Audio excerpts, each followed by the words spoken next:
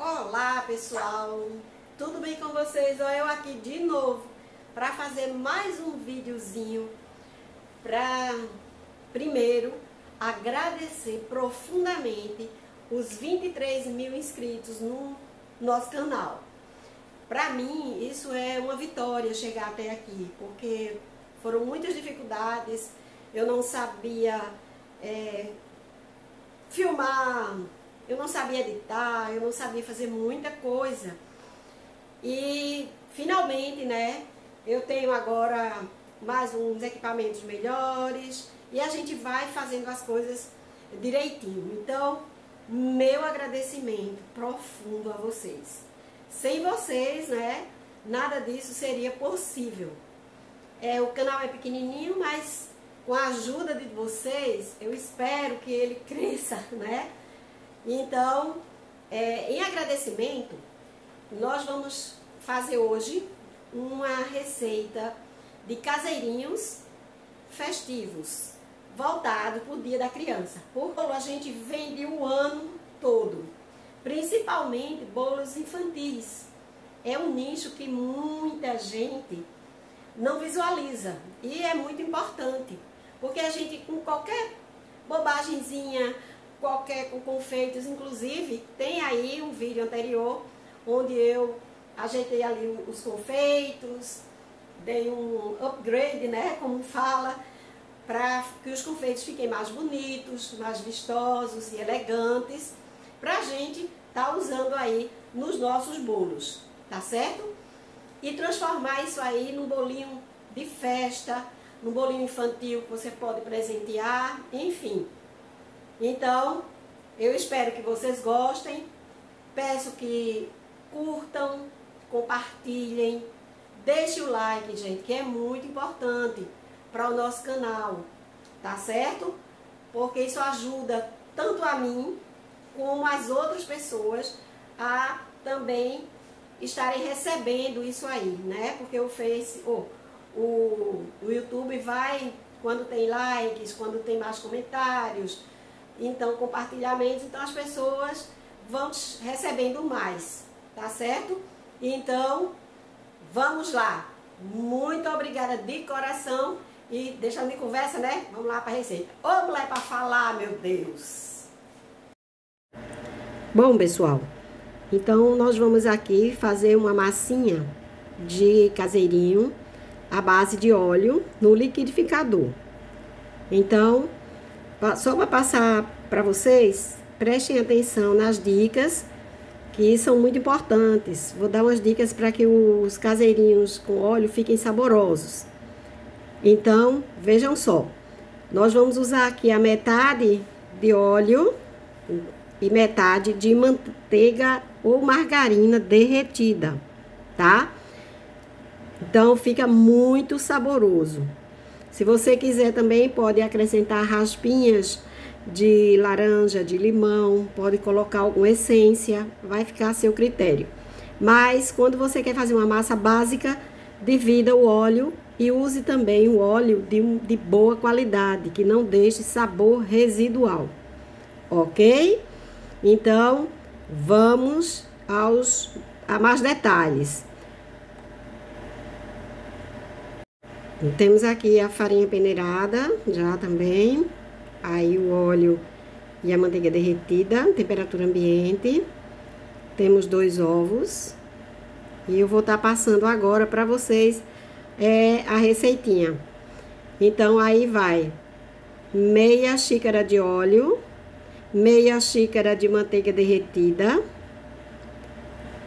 duas xícaras e meia de farinha de trigo, duas xícaras de açúcar refinado, uma xícara de leite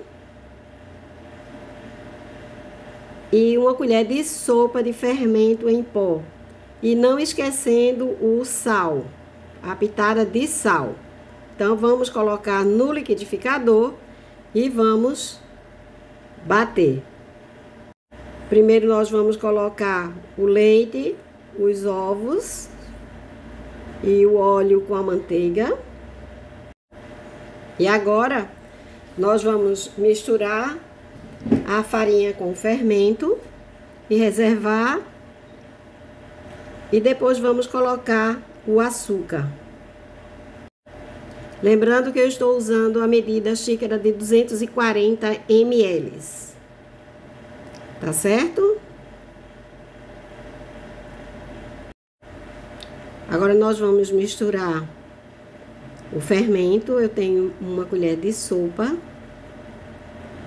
de fermento, uma colher medida, que dá aproximadamente 14 gramas, mas você pode estar tá optando aí para usar 12 gramas, dá certo do mesmo jeito. Vamos misturar para que una bem, misture bem aí. Olha aí, a, o tamanho da colher. Essa dá 14, mas a gente pode estar tá tirando um pouquinho e ela vai dar 12 gramas, porque bolo de óleo geralmente ele sobe muito.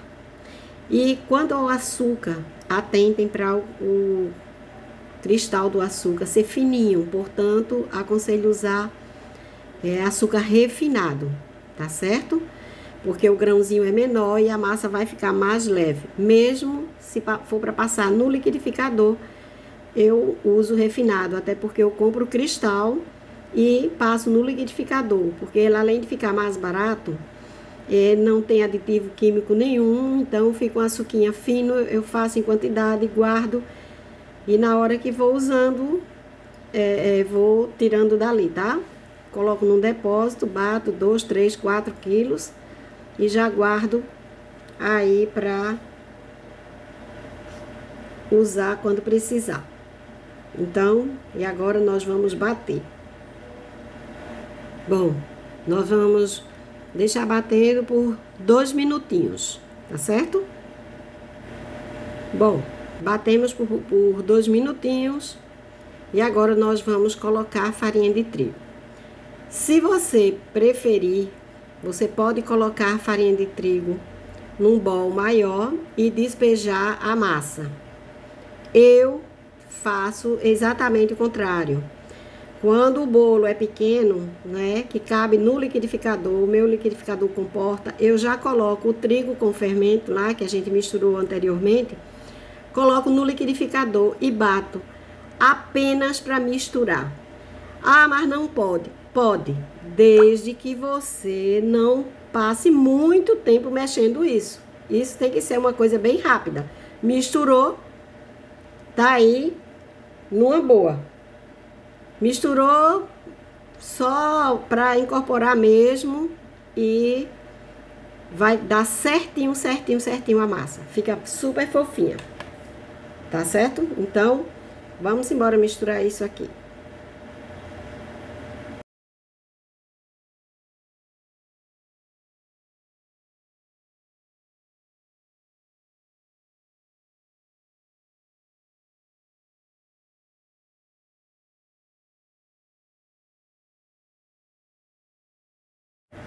Bom, aqui eu tenho, eu vou dar para vocês duas opções. Né? Nós temos aqui forminhas descartáveis, porque essa forminha é bom porque você pode levar ela para escolinha, para qualquer lugar, né? Pode estar tá fazendo aí essa esse mimo aí para a criançada. Dia das Crianças pode levar levar para um parque, né? Para um piquenique. Esses bolinhos são muito bem-vindos. Então, vocês podem estar usando aí é, essas descartáveis. Eu vou forrar, colocar quatro biscoitos no fundo, já que é infantil, né? Criança adora biscoito. Então, nós vamos botar biscoitos. Eu tô com recheio de morango e o outro de chocolate. Então, nós vamos arrumar, despejar nossa massa né? Não vamos encher muito para que ela não suba, como eu falei, bolo de de liquidificador, ele sobe bastante, ele cresce bastante. Então, ter cuidado aí. Vamos botar nas duas formas.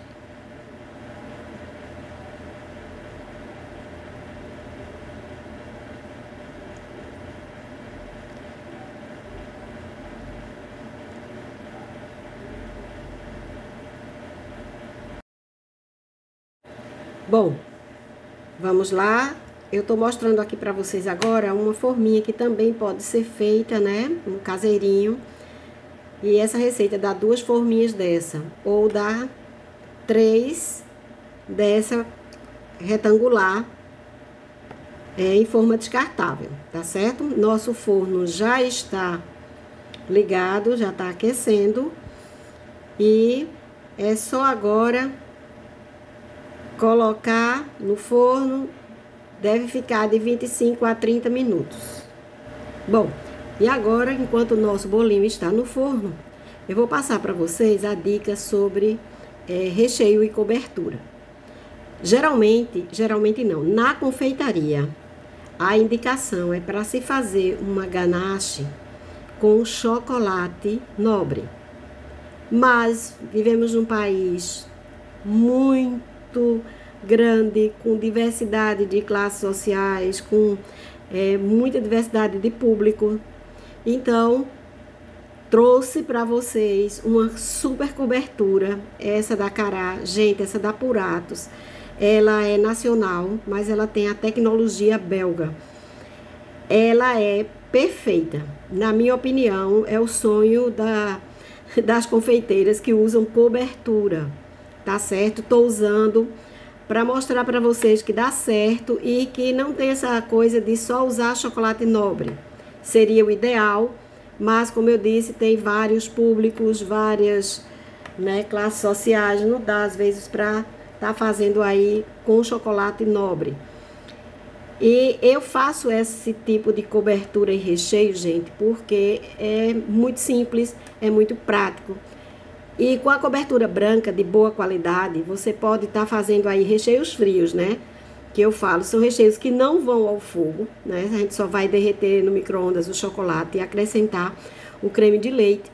E depois disso, você pode estar tá acrescentando aí vários sabores. Então, é uma, um recheio, é, eu falo que é recheio e cobertura. Tanto dá para cobrir como para rechear. Vai depender aí do, da quantidade de creme de leite que você vai estar tá usando. Porque dá para fazer tudo com um produto só. Acrescentar frutas, é, picadas, combina muito bem com morangos, com frutas cristalizadas, qualquer coisa. Chocolate branco dá com muita coisa. E eu gosto muito de usar esse tipo de cobertura recheio porque diminui lista de compra, enfim. Então, eu tô falando isso para vocês, gente, porque isso aqui tá praticamente sendo um mini curso, né? Onde eu tô dando todas as dicas a vocês aí dos ganaches e das coberturas.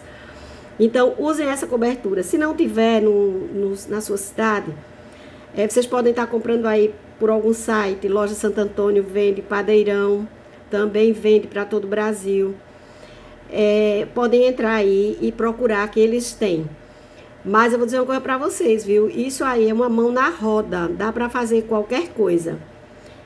Então, vamos ver aí o que é que vocês vão dizer. Deixem nos comentários aí se vocês gostam e ou não. Então, eu estou usando a proporção de 400 gramas de chocolate, aliás, da cobertura, para 200 de creme de leite. Então, vai ficar um recheio mais molinho, né? Não vai ser no ponto de bico, vai ser mais molinho. Então, eu tô passando aí para vocês. Espero que tenham gostado da dica. E procurem um, uma cobertura, né, com sabor que tenha os ingredientes, olha. Né? Tem cacau e tem leite em pó. E às vezes tem algumas que tem soro de leite em pó. Não se preocupem com esse soro do leite, porque é pura proteína, gente. Tem gente que não sabe, não tem conhecimento quando vê soro, ah, soro de leite. Gente, soro de leite é proteína pura. Então não é não tem problema nenhum em consumir. Tá certo? Então tá aí a dica dessa cobertura e espero que tenham gostado. Bom, tá aqui. Eu tenho 400 de chocolate derretido. Já coloquei o creme de leite também ah, pré-aquecido, né? A gente dá uma aquecidinha. E a gente mistura e vai deixar descansar. Bem, pessoal, tem um vídeo aí onde eu ensino a fazer, né, os sprinkles bem, para ficar bem bonitinhos, confeitinhos bem coloridos, bem trabalhados. Tem um vídeo aí no canal. Dá uma procurada aí, eu vou deixar também no, na descrição do vídeo, eu vou deixar o, o link do vídeo.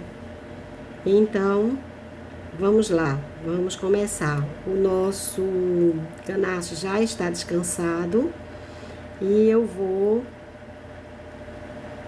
tá mostrando a vocês como a gente vai fazer. Fica uma massa super fofinha, pessoal, muito fofinha. Essa, essas formas têm várias, é, várias estampas, você tá, pode estar tá aí escolhendo o que você quer. E ficou muito legal o nosso bolo, super macio. E agora eu vou dar uma adiantada no vídeo, gente, porque é só para colocar mesmo o para enfeitar e vocês vão vendo aí. Beleza?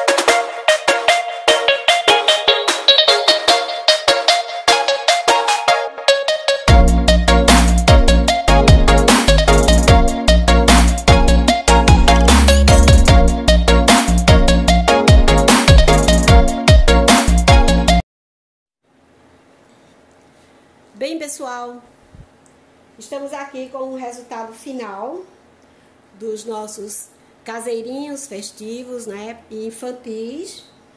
Espero que vocês tenham gostado da dica. Façam aí, porque isso aqui, gente, tão simples, dá dinheiro o ano inteiro. Então, vou pedir para vocês nos ajudarem compartilhando, deixando o seu like é muito importante, pessoal, para nos ajudar, tá certo? Ajuda muito o canal a crescer. E deixem aí nos comentários também sobre qual coisa aí vocês querem que a gente faça, qual receita, se mandem sugestões. E o próximo vídeo também será de caseirinhos infantis e vou trazendo outras massas, tá bom? E aí a gente vai ficando por aqui e fiquem todos com Deus. Até o próximo vídeo. Tchau!